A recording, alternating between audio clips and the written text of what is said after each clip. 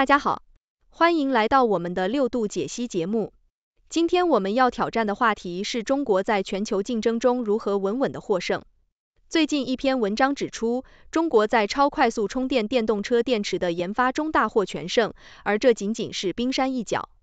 从电动车到可再生能源，甚至到钢铁生产，中国的控制力与日俱增。无论是科技创新还是工业基础，中国都在引领潮流。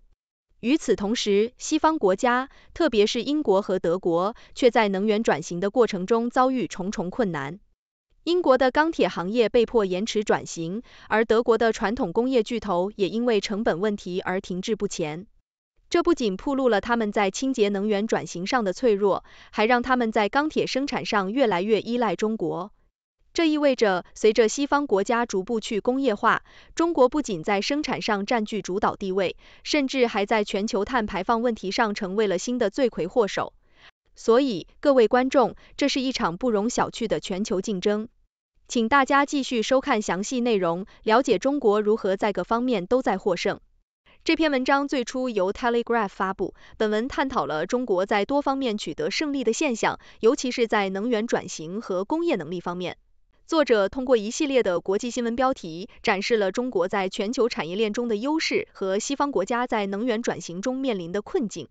文章开篇引用了在 oilprice 点 com 上的一则新闻，标题为“中国在超快速充电电动汽车电池的竞赛中获胜”。这篇新闻强调了中国在电动车领域的领先地位，尤其是在解决充电问题的技术开发方面。不过，作者进一步扩展了这个话题，指出中国不仅在电动车领域，而是在涉及政府推行的能源转型的各个领域都占据了优势地位，包括风能、太阳能、电力生产、制造业和矿物加工等。接着，作者引用了来自 Energy Live News 的一篇报道，该报道指出英国的钢铁企业计划推迟其绿色钢铁转型计划。本市计划在二零二五年前将煤炭高炉转变为电葫芦技术，但由于国家电网直到二零三二年才能提供足够的电力支持，计划被迫推迟。作者对此进行了批评，指出西方国家在能源转型承诺上的延迟和不断修订目标的趋势。此外，作者通过另一条来自德国的新闻展示了类似的问题。路透社的报道指出，德国工业巨头蒂森克鲁伯正在审查其绿色钢铁生产计划，并因项目成本超出预期而暂停相关项目，这导致了该国钢铁厂的进一步闲置，而中国则可能填补全球钢铁需求的空缺。文章还提到，英国关闭了最后一座燃煤电厂，尽管这表面上是一个朝着实现碳减排目标迈进的一步，但实际上全球碳排放并未因此减少。由于中国仍在不断建设新的燃煤电厂，并在总体上优先考虑能源安全和经济增长，全球的碳排放反而可能向中国转移。作者总结道，西方国家的去工业化和能源政策只会导致经济权力和碳排放向中国的转移，使得中国在全球竞争中占据主导地位。从一个更广泛的视角来看，这篇文章揭示了当前全球化背景下的能源政策和经济策略的复杂性。中国在工业和技术发展中展现出的灵活性和快速适应能力，使其能够在全球供应链中占据核心位置。相对而言，西方国家在追求可持续发展目标时面临的挑战，包括基础设施建设的滞后、政策执行的不确定性，以及对既有工业模式的依赖，导致他们在全球竞争中处于不利地位。然而，值得注意的是，文章尽管指出了中国的优势，但未能深入探讨中国在快速发展过程中可能面临的潜在挑战，比如环境污染和资源枯竭的问题。同时，西方国家的能源转型尽管进展缓慢，但在长远的可持续发展和技术革新上仍然存在潜力。从一个经济学的角度看，文章所描述的现象也反映了全球资本流动和产业链重组的现实。中国通过产业政策和基础设施投资，吸引了大量的全球资本，将西方国家的工业设施和技术转移到中国境内，进一步增强了其制造业的竞争力。在国际关系的视野下，文章的内容也对全球权力格局的转变提供了一个切面的观察。西方国家在能源政策和产业政策上的犹豫和分歧，使得他们在面对中国时缺乏统一的战略。综上所述，本文提供了一个引人注目的视角来审视中国在全球经济中的地位和影响，同时也呼吁西方国家重新审视其政策方向，以避免在全球竞争中进一步失去优势。请大家继续收看六度解析节目的深入探索。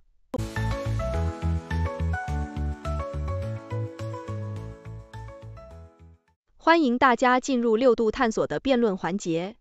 我们从正反两个角度对本节目进行辩论，请出我们的辩论高手楚天舒、谢琪琪。我是楚天舒，我是谢琪琪。中国在全球能源转型中占据着领先地位，特别是在电动车电池技术的开发上。我们看到，中国不仅在技术上取得了突破，还在全球供应链的控制上展现了强大的影响力。事实上，中国的新能源汽车销量在二零二一年达到三百五十二万辆，占全球市场份额的百分之五十。这样的数据证明，中国在新能源领域的领跑地位。相比之下，西方国家在能源转型上的进展缓慢，常常因为内部政策的掣肘和基础设施的限制而停滞不前。英国和德国的去工业化过程反映了他们在低碳经济的实践中遇到的困难。而中国则能以自己的方式行稳致远的实现经济的转型和可持续发展，因此，中国在这场全球竞赛中的确是获胜者，并将继续在未来的能源革命中保持领先。楚先生，我不得不指出，中国的所谓获胜其实是建立在不考虑环境代价的基础上的。中国的煤炭消耗一直居高不下。二零二二年，中国的煤电厂数量占全球新增的百分之五十五，这无疑加剧了全球气候变暖的风险。英国和德国的去工业化是为了实现更可持续的目标，虽然短期内有经济压力，但他们正致力于长期低碳经济的转型。事实上，他们在可再生能源技术的研发和应用上并没有停滞，反而投入了更多资源。相比之下，中国的能源政策似乎更关注于短期经济增长，而忽视了全球环保的责任。这种不平衡的发展策略未必能持久。随着全球对环保要求的提高，中国的煤炭依赖终究会成为制约其发展的瓶颈。谢小姐，虽然中国在煤电方面的投资引发了争议，但这并不代表中国在环保方面毫无作为。事实上，中国是全球最大的可再生能源投资者。仅2021年，中国在风力和太阳能等可再生能源上的投资就达到了2660亿美元，远超其他国家。这表明，中国并非只关注短期经济利益，而是在积极推动能源结构的多元化。同时，中国也在大力推动环保技术的发展和应用，如在北京及其他大城市实施的电动公交车计划，这在很大程度上减少了城市的碳排放。相较之下，西方国家的能源转型面临更大的政治阻力和经济压力，这使得他们在推进能源转型的速度上不及中国。因此，中国在可持续发展方面取得的成就同样不容小觑。楚先生所言的可再生能源投资确实值得注意，但我们也不能忽视中国在这方面面临的挑战。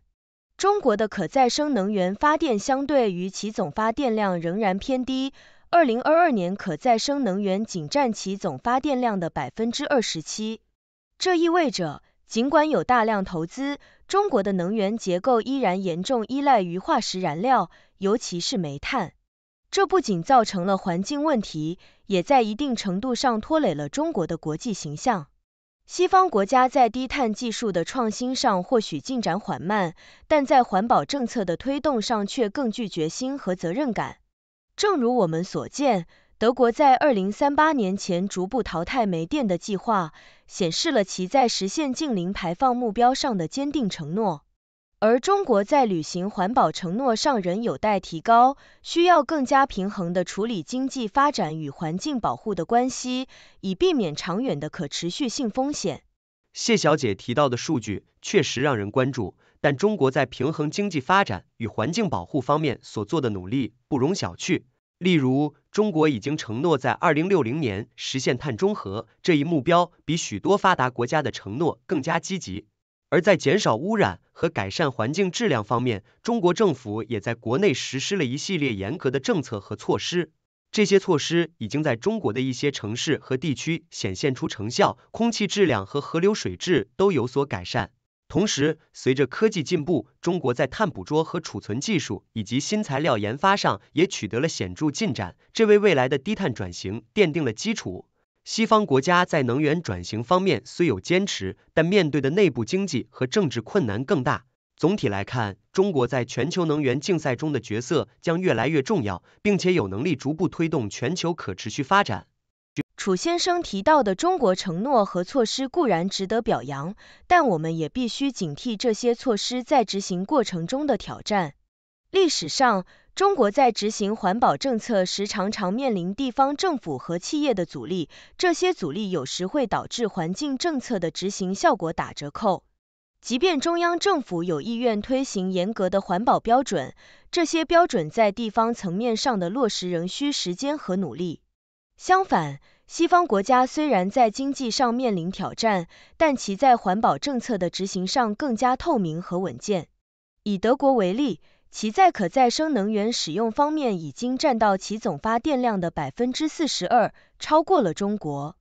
这说明即使面临困难，西方国家在环保方面的努力依然卓有成效。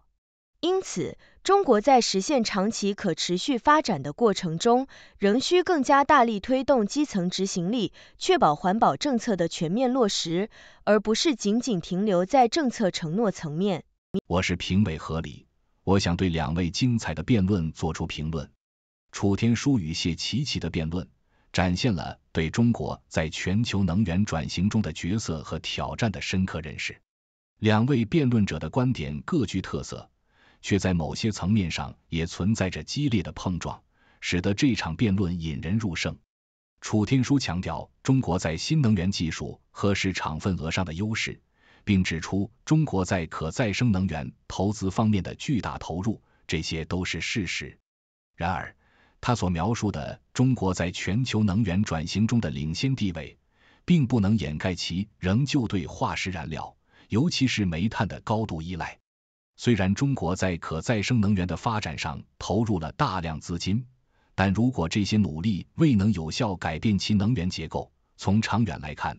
这样的成就难以支撑其在全球能源竞赛中的优势地位。楚天舒对于国内外政策环境的比较，也未能深入探讨西方国家在实现长期环保承诺上的坚持与努力，这使得他的论点显得有些片面。而谢奇奇的观点则十分尖锐，他提出中国在环保方面的努力经常受到地方政府和企业的阻力，强调了政策执行中的难题。他在强调西方国家在环保政策实施上的透明与稳定性时，让人们意识到一个良好的政策框架与执行力之间的关联性。谢奇奇的辩论让我们看到了中国在追求经济增长与环境保护之间的矛盾。这种矛盾若无法妥善解决，将可能成为中国未来可持续发展的瓶颈。总结来看，楚天舒和谢奇奇的辩论均揭示了中国在全球能源转型中的复杂面貌。楚天舒所强调的中国在新能源市场的突出地位，与谢奇奇所指出的环保政策执行中的困难形成了鲜明的对比。中国的能源转型之路并非一帆风顺。而是需要在追求经济发展的同时，面对日益严峻的环境挑战。未来，中国要想在全球能源竞赛中真正立足，必须在政策执行上提升透明度，增强地方政府的执行力，并实现真正的可持续发展。这才是希望在未来的能源转型中取得胜利的关键。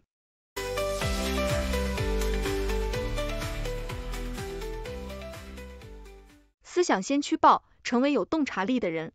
华尔街电视特别节目，纽约时间每天早上八点，李奇博士主持。和平评点。谢谢大家收看六度探索。这是一个由科学家、经济学家、媒体人、工程技术人员合作建立的新型媒体。网友与六度 AI 参与合作完成各种内容，这些内容不能作为任何决策或法律的意见。